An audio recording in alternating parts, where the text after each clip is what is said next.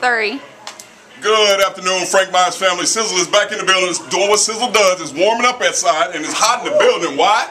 Sizzle is in the building. Hot deals all day. It's hot. I got Miss Midge Randolph in the building. She came to see me. She had a need. She said, I got my old my old Maxima. I just don't know. I love my old Maxima. I'm just going to keep it. I said, no, baby, you got to let go. Just let go of that old vehicle. You can get you something nice and newer because that's what we do at Frank Myers Auto Maxx. Right. Miss Randolph, Yes. tell the world, how was your experience?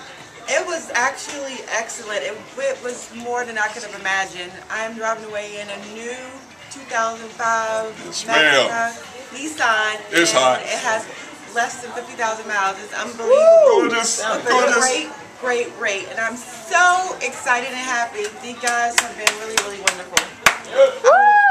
Sizzle can't say it no better than that. Sizzle can't fix that. He can't say it no better. We just got a testimony. You can do the same thing. Yes. Let go of that old automobile. Come get you something nice and newer. Miss Midge is going to be a friend. Miss Midge is going to be a friend for life. We always make friends out of here at Frank Myers Auto Maxx. Miss Midge, I am so excited. Yes, I And little Miss, little Miss Randolph into the family. So on the count of three, we're going to bang our celebratory gong. We got a one, we got a two, we got a three.